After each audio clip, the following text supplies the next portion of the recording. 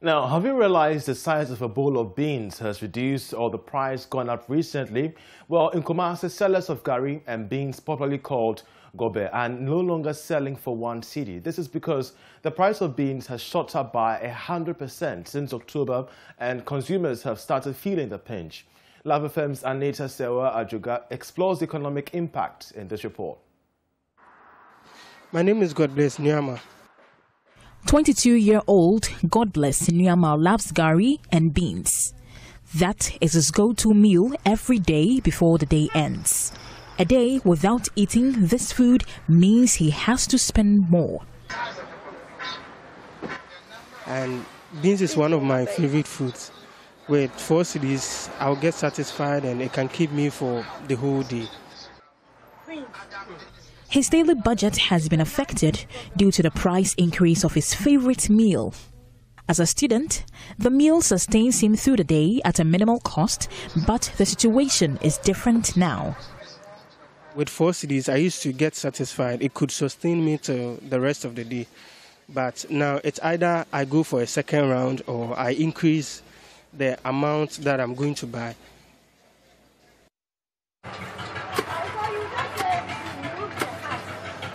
Efia Mansa carefully pounds this quantity of beans in a mortar.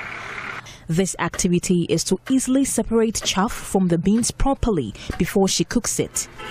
She then pours the beans on a perforated wooden tray, rubs her hands on the beans to get rid of the chaffs. This is meant for her gobe food joint at Eija in Kumasi. Though a sack of beans is expensive, Mansa complains the sack is full of chaffs. You can see that the beans is full of chaffs. Our customers get angry when we refuse to sell the beans at one cedis.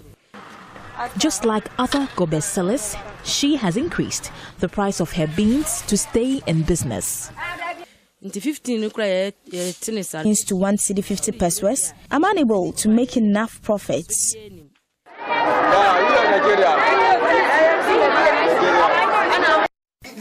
In retail are often sold in locally measured cups, container bowls, and sometimes bags for wholesale.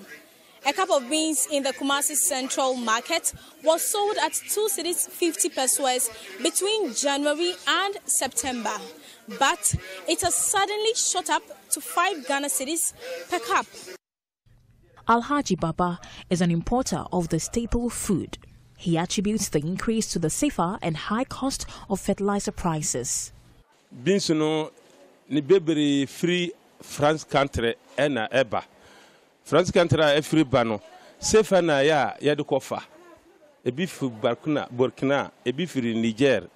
Nti sefa no akɔ soro saa ma We import most of the beans from French countries, but the CFA keeps increasing. Now, most of the importers are unable to buy the beans. price no wɔ soro. Yɛ ankasa bebree koraa ntumi nfa nneɛma no mba yɛho kyere ya papapapapa Meanwhile, Baba's customer, Comfort, says she is unable to buy beans in large quantities due to the high price coupled with increase in fuel prices. First, kura ukita 20 million ati mifane yama. Nanso afi we die. Nukure ni ukita 20 million wato beans ya bag mmienu. I can only afford to buy two bags of beans with an amount of 2,000 Ghana cedis.